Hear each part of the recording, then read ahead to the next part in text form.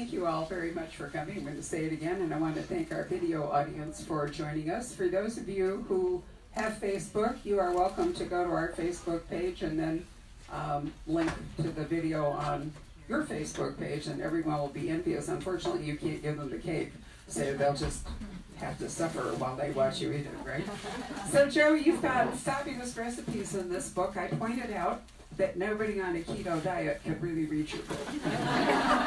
Nobody on any diet. I say that because our younger daughter and her husband have, you know, it's sort of like becoming religious to go on one of the keto dieters and things. So um, I found it interesting to read your book and think about all the calories I consume that would be bad for me. I, I actually gain weight when I walk past the bakery. So, you know, this is, it's kind of scary to read those recipes, yes. But oh, they are so good, guys. They really are. What's the name of this incredible cookie I just ate? Oh, that's chips off the old block. And it is marvelous. It's a marvelous cookie. It has potato chips in it. Oh, and, and, and not chopped. Well, I think she put butterscotch. There's supposed to be peanut butter chips. I don't know if she used. Lois, did you use peanut butter or what? Yeah. Yes, okay, so Lois has got, if anybody has a peanut allergy, I'm mm. sorry. What, is my mic not working or hers? Joe, let me have your mic a moment. They can't hear you. Here, take mine. Okay. And then hold it up like I said. Okay, like that? Is it much better? Can you hear me on this one? Okay. So it's not really the microphone, it's speakerphone right? It's Right. I always like to say if you hold it like an ice cream cone, it, it actually works. I could be ruder and suggest another, but anyway. I won't do that. So there are, there are, what, twenty recipes and, I um, think there's at least twenty, yeah. right. I never counted them, I just keep putting them in. Because I found some really good ones this time. Some of Hannah fans sent me recipes. And of course, I have my grandma's cookbook, my two aunts, I have cookbooks from them, and I have my great grandma's cookbook. So I'm just, I'm loaded with dessert recipes. Uh, yes, and uh, I used to weigh 99 pounds before I started this series.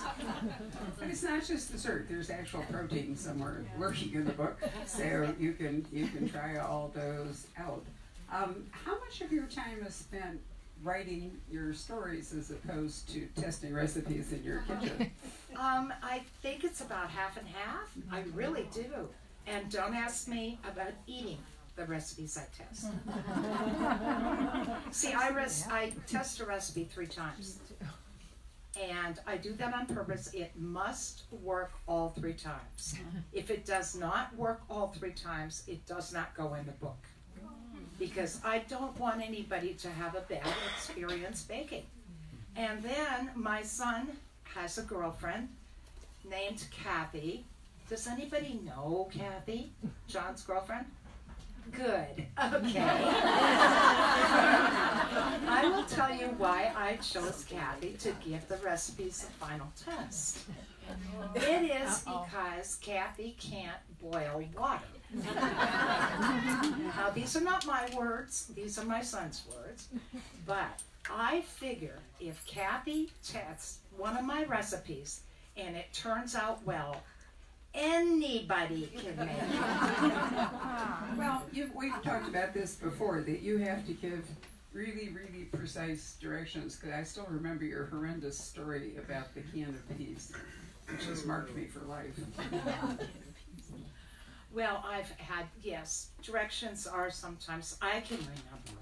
I do remember once somebody asking me, I wrote down cream, the butter, and the sugar, which is a common baking phrase, right? Okay, now this was a daughter in law, a new daughter in law, one of my sons, who called me the next day and said, How much? I said, How much what, Jill? She said, Cream. Cream, the butter, and the sugar, right? Oh. So I had to explain exactly what that meant. And it is kind of a weird phrase, but I mean, there are a lot of You know, as they say, plump the raisins. What do you do? Feed them carbs? Things like that. That that's they're they're so I have to be very careful the words I use, and I do want children and and children do bake. You know, some of the recipes are simple enough for say a 10 year old, a 12 year old to bake, and I want them to have a good experience because then they'll keep baking. And it's nice to get immediate gratification when you take something out of the oven and you can actually eat it and it tastes good. Absolutely true. And I do think, you know, I remember being brought up where we could convert um, measurements, you know, so you knew that a tablespoon was, what is it, three teaspoons and on and on. But I noticed the other day I was watching something and there was a happy young mom and her two little kids cooking in the kitchen and it came to that and they said, Alexis, you know, how many, I you know, I mean, it's there, and so I, I have, I got to thinking that maybe some of the more difficult baking terms you could simply ask if you have. I'm not letting one in the house because I don't want it listening to me. So Rob and I are toughing it out the old-fashioned way. I'm worried about that too. Yeah. Um, mine isn't Alexis, it's something else, and I can't even think of Google? any. What? Google. Siri. Yeah. Siri. Could be Siri, right? Yeah. hmm And uh, I, I'm kind of worried about that. I mean, there, every once in a while, I will say something that I do not want others to overhear. like Kathy, I don't want her to overhear what I said about her. no, she's getting too good though. I mean, she's she's turned into a baker. So now I have to look for somebody who is just as culinarily challenged as Kathy was when she started. Well, let's talk about the book just for fun. Now that we've talked about the food, um, Hannah, you you know I've talked about the fact that people expect your books to take place primarily in Lake Eden. That's you know that's the background. It's sort of the Cabot's Cove, whatever it is. But in this way, I thought in this one you have a, a nice way of moving them out of town for a while. I wanted to do that. Um, Lake Eden is a character in the books. I mean, you know, because it's fun. But I did want Hannah to have a little wider experience. And so Hannah helps, goes with her mother to California, to LA, to help a friend move. And the friend is moving to Lake Eden.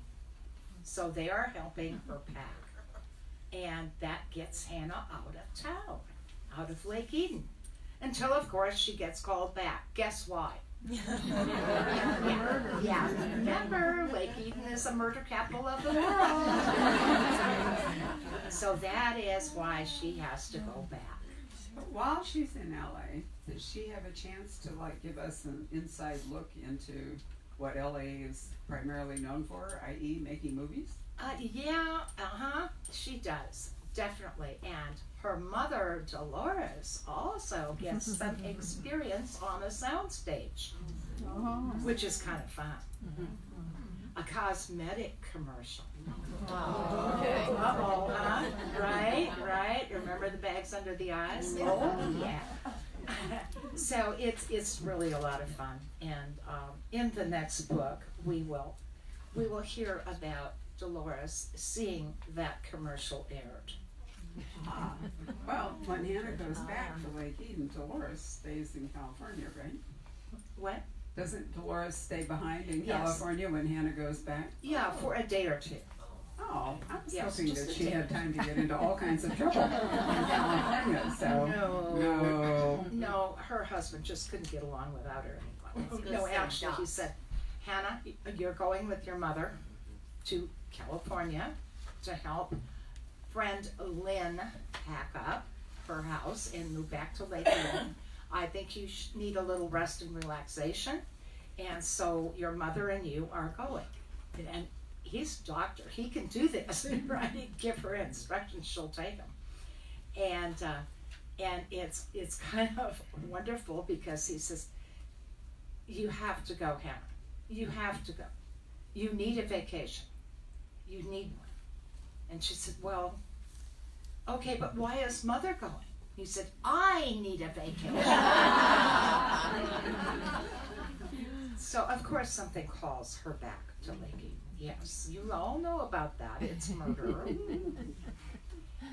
and I'm not going to tell you too much more, but it's exciting. It really is. It's, I, I like this book. I really do. I think I like, I especially like, and don't read ahead, I especially like the ending of this book. There's a lot to do on the way. Um, and there are a number of subplots in this book that are a lot of fun to follow. So unfortunately, we can't really talk about them without spoilers. But Not did really. you find yourself, I mean, you know, enjoying complicating up the story as much as you did? Oh yeah, I really do.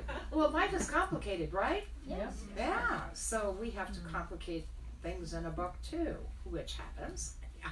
And and this one is a little more complicated than some of them have been. Although then there's Hannah's marriage, which was very complicated. Mm-hmm. If anybody's up to speed with the series, yes, yeah, yes indeed. no Did more. you, did you marry her off just to do that? Or did you make that choice and then decide you wanted to get rid of him? That's, authors can do that, you know, it's not hard. You can go, okay, we're gonna do this, and then you think, hmm, mistake, I can fix it. You know, actually, I did that. It was kind of a low blow here. Um, my editor wanted Hannah married, and he has he was bugging me for years. I mean, I've been at this for well, there's twenty over twenties. Mm-hmm. what, uh, what is this one? Twenty five, I think. Yeah. Yeah, over over twenty five because I'm halfway through with the next one. Okay, over twenty five books in this series, and and he kept saying Hannah has to get married. You just have to. Yeah, we need a wedding. I said we had a wedding. we had a wedding. We did. You know, I mean, we we saw weddings. Lisa got married to Herb Beeseman. You know, we saw the wedding in the book. No, no, Hannah has to get married. I said, why Hannah? Well, because we need children in the book. Hannah's got nieces. You know, she she does. Tracy and Bethany. She's got Bethy and Tracy, and sh- they're, they're kids, and they're in the book. You know, what's wrong with that? He said, no, no, it's got to be Hannah. Hannah has to get married. And I finally, I got sick of arguing with him, so I said, okay, but the groom's gotta die.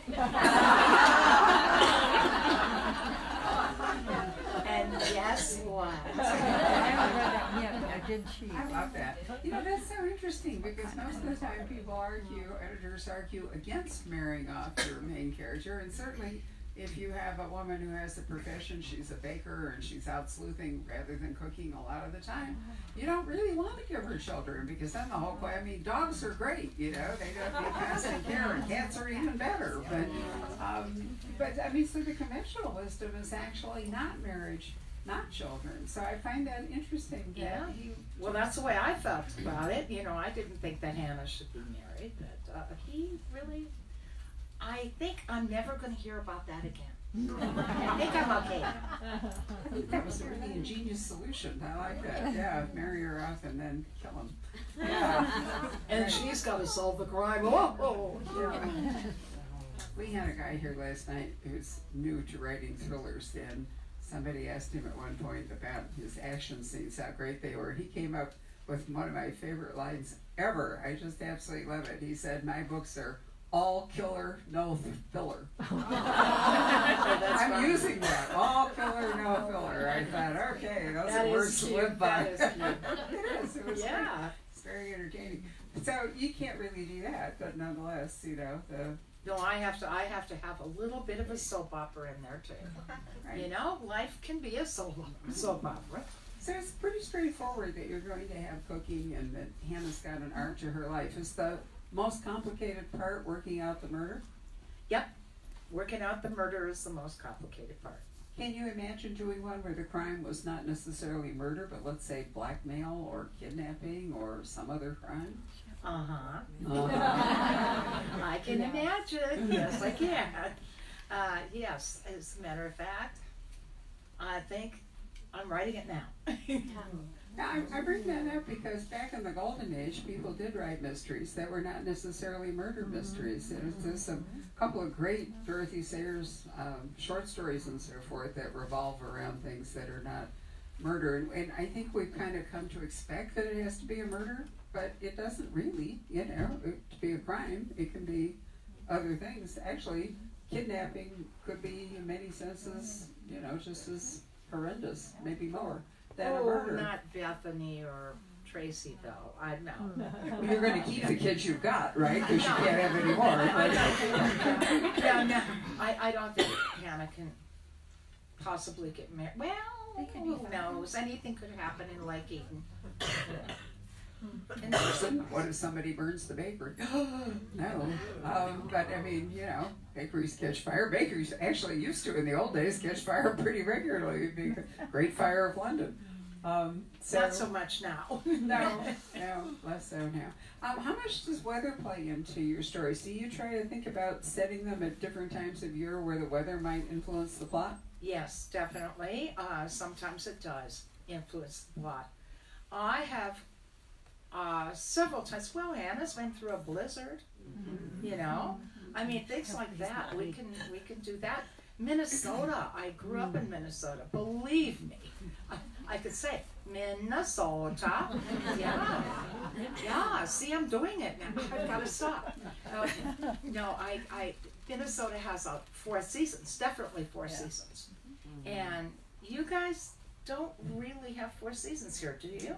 Well, we've actually had sort of a winter this year, which I think is my great chance to wear a sweater. Yeah. but I grew up in Chicago, so you know, I'm more than familiar with the whole seasonal thing. But I think, I think there are definitely stories and you know um, progressions of investigations and so forth where the weather can play a pretty significant role. So Minnesota's good for that.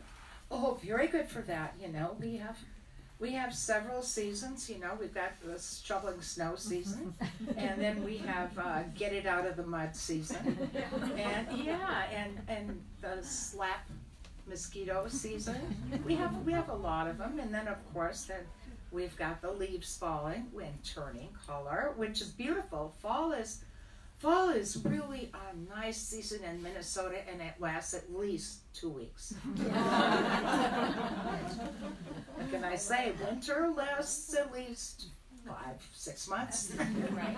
Yeah. it- The mud part is hard. I always thought October was the most beautiful month in Chicago. June and October were my very favorite months. Um, and then March could get really tiresome because Oh, you yeah. know it was gray and there were no mm-hmm. leaves and there could be a lot of mud.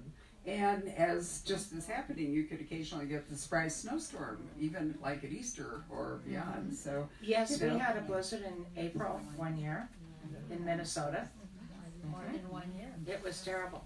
More than one year, More than yes. one year, yes. Yeah. Probably not going to happen here in Scottsdale, but um, but we have rain. We actually had to prepare Saturday for the rain because this building. Well, my landlord's not listening. This building is not particularly well constructed, and so it leaks. And we had. I remember. Do you remember last summer there was this huge storm? We were doing an event. All of a sudden, water was washing across the floor because these big windows leaked. And of course, you know, I panicked that people will get hurt, so we're like pulling out all our tablecloths and wires, you know, going around blotting up the store. Um, so, you know, we have extreme weather too. It's just not cold extreme weather. Exactly. I think I've got to do a tornado one of these days. Yeah, oh, yeah. Lake Eden, don't I? Yeah? Yeah. Okay, I, I, I'll keep that in mind. Yes, that's a good one. So, is there any particular recipe besides the coconut cake? I'm assuming there's a coconut cake recipe in this book. I'm Of pretty course sure there is. is. Right. There are a lot of recipes in this. There are some interesting also. Um, for instance, there's a lemon chicken that you make in the slow cooker. Uh, that's it. It's easy. See, that's the thing about my recipes. They're easy because I don't like to work too hard. I do not like a recipe that's, you know, like uh, 25 steps. And then you're all through and you taste it and you think, this is going to be great. I've been working on this all day. And it doesn't taste that good. It's not worth working on all day.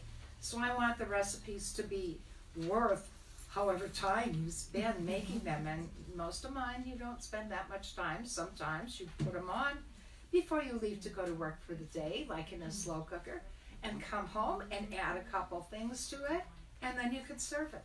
Mm-hmm. And I, I do like those easy recipes. So most of mine are easy. I don't think I've ever done a, well, a couple. Sometimes those swirled cookies are kind of time consuming, but um, I've only done two of those. So I think we're okay.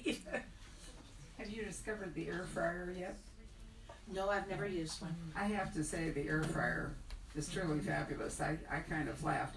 Now, I don't know about you guys, but I think a perfect hot dog is a is a really great thing, especially like if there's a football game.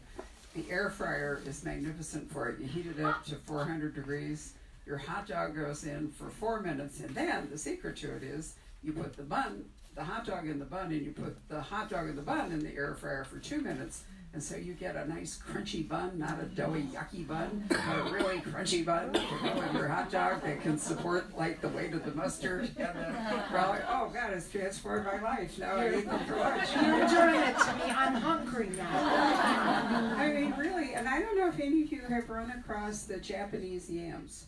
They are not sweet potatoes. They are slightly different, and you can find them in the Asian market. But now I'm trying to remember where Rob gets them. Maybe Sprouts or something. But they're they are a, a fabulous texture. But what's great is that you can slice them up or whatever and put them in an air fryer, and they come out with the outside crunchy and the inside is kind of soft and sweet. Oh, Lord, they are good. Um, and so it's like you know, you get a new appliance and you figure out how to use it, and suddenly there you are with food that you know That's you had exciting. It is. Yeah. So I'm Oh, recommending bet- it to you. I'm gonna have to get one. Yeah. Now she's done it. That's the hot dog to me. And there's no maintenance either. I mean, you know, 'cause you oh. don't have grease and all the rest of it, you know.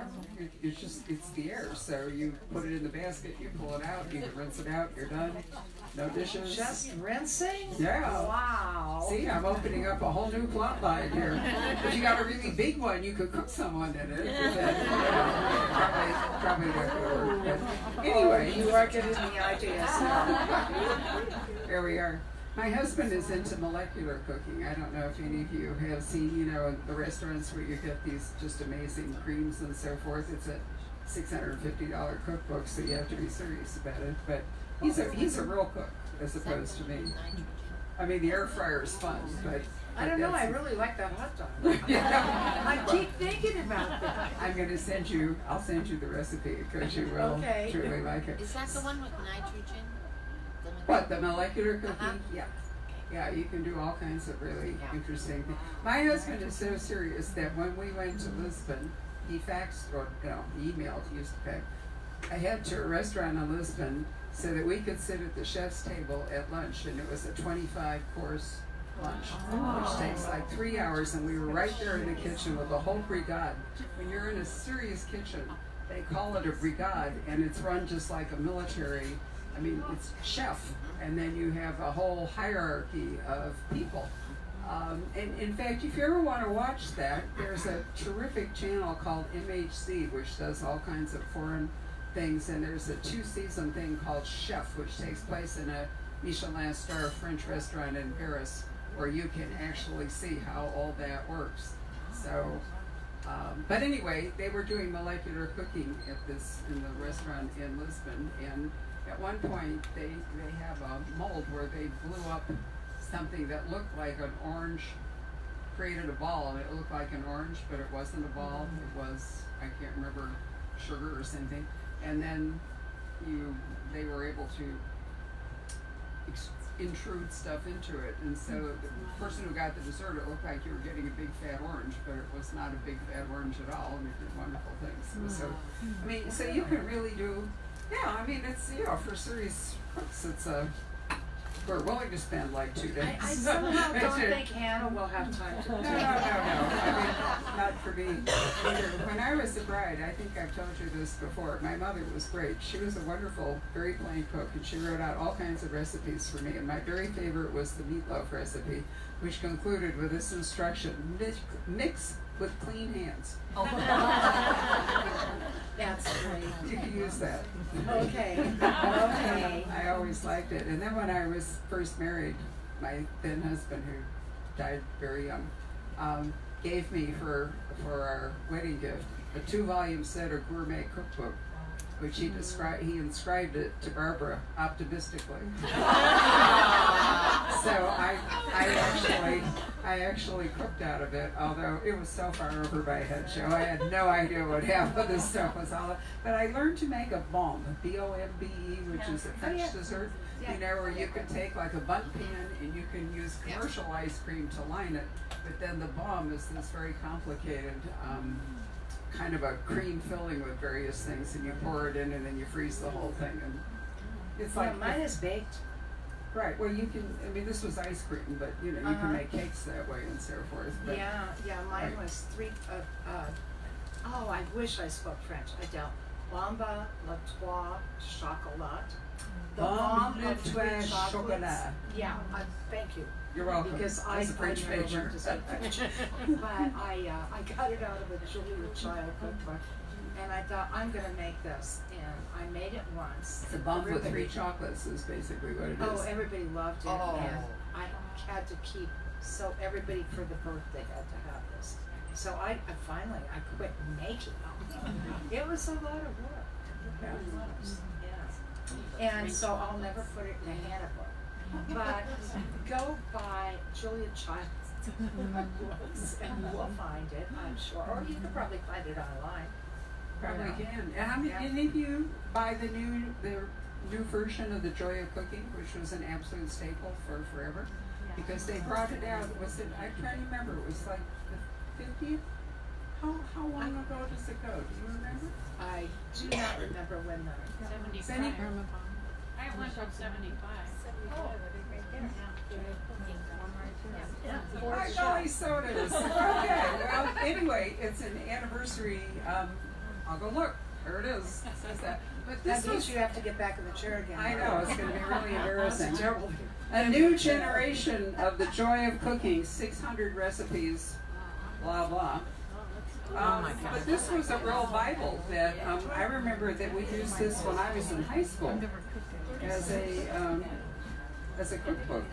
I'm from Minnesota, we use Betty Crocker. So the original, the original copyright's 1931. So they just brought this back out, and they- had to go through and you know test recipes and update it and all kinds of things. But it was a really big deal. And if you like them, uh-huh. if you are interested, salt, fat, acid, acid and heat is an absolutely terrific four-part TV series. I can't remember. I think it's on PBS. Uh, but this is a lady who is Iranian, and um, she explores. These are the four basic, whatever. Um, and so in each one, she explores the role of salt, and then the role of fat, the role of acid, and the role of heat um, for for cooks. And it's really fabulous program to watch. So I'm pretty sure it's PBS, so I can recommend that too. I dare not watch these things. yeah. yeah, yeah. I, Well, I, you have a cookbook. You have a very nice cookbook, but I think it's disappeared for the moment. um, it's. I think it's still out there in um, um, what do you call the large paperback? Uh, Trade paperback. trade. trade. Thank Right, you. I can never paperback. remember that. Somehow the the when they say trade paperback, it just doesn't stick in my head. You know, paperback mass market, I got that. You know, that's the one you can stick in your purse.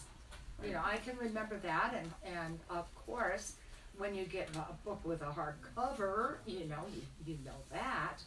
But this trade paperback, why is it trade, Barbara? Do you, you know? I don't know. We call it large. Um, large paperback seems simpler. Um, I think in part that it's become popular for aging eyes because it can be very hard to read the little tiny print that comes in those small paperbacks. It is bigger type. Yeah, it's Yeah. definitely bigger type, and it's a paperback because um, people feel more comfortable carrying it around than if it were a hardcover. So you know, it's, it's just one of those publishing decisions. Well, it's less expensive too. Right, You know. but I know you did one cookbook, and then didn't the Christmas cookie Murder wasn't that one devoted to in fact Christmas cookies, right? Which No, is basically uh, like a cookbook. No, that was, the one you're thinking of One is sugar cookie. cookie. Sugar cookies, sorry. Okay. Yeah, it was half cookbook, half, half story. Right.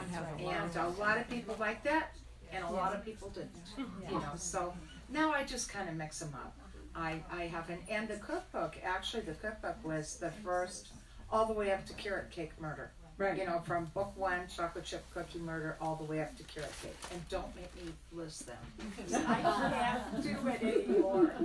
I mean, I just can't remember what came after what anymore without reading, you know, the books at the, at the beginning of one of my books, there's a, you know, a list. and There I a have to list, look. there's a list in this book mm-hmm. that. Yeah, I have to look. Right, chocolate chip cookie, raspberry People will say, well, when did and- Blueberry come out? And I'll go, I don't know, I think it's in the first five, you know?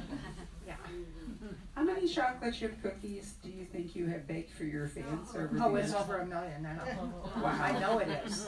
It's a lot, Yeah, Joanne because- has always been so great about coming with food as well as her book to the Well, store. actually, Lois Brown did all this. I didn't do it. I didn't do it. And I was on TV making, uh, except you don't actually bake on TV, right? But I was on TV yesterday and um, I made chips. Well, made, okay. I put together the ingredients for uh, chip off the old, chips off the old block. And that Lois has got it back there. Um, and those are the ones with the peanut butter chips. But if you make them and you know that you're going to serve them to somebody that has a peanut allergy, put in butterscotch chips. They work. They work just fine.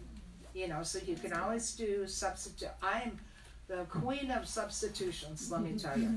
I can remember one time I made a cake with not one single ingredient that was listed. I